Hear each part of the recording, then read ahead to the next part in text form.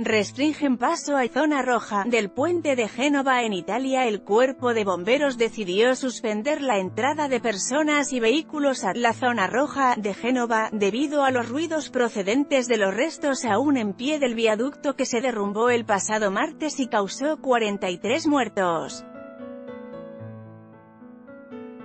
Los crujidos fueron oídos durante la noche, procedentes de los restos del puente aún en pie sobre las casas de la calle Porro y calle Filac, por lo que se suspendió la entrada de los habitantes que por turno están recuperando sus efectos personales de sus viviendas.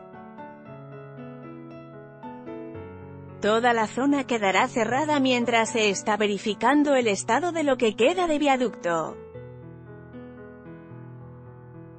El presidente de la región Liguria, Giovanni Totti, y el alcalde de Génova, Marco Bucci, entregarán las primeras 11 casas para las cerca 600 personas que fueron desalojadas de 11 edificios que se encuentran justo bajo lo que queda de viaducto y que deberán ser derruidos.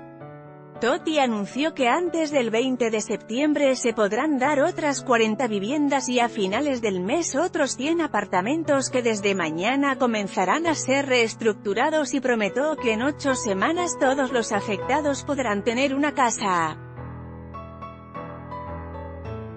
La concesionaria de autopistas en Génova, Autostrade per l'Italia, que pertenece a Atlantia, y que se ocupaba del mantenimiento del puente, ha retirado la exigencia de pago de las autopistas en toda la región.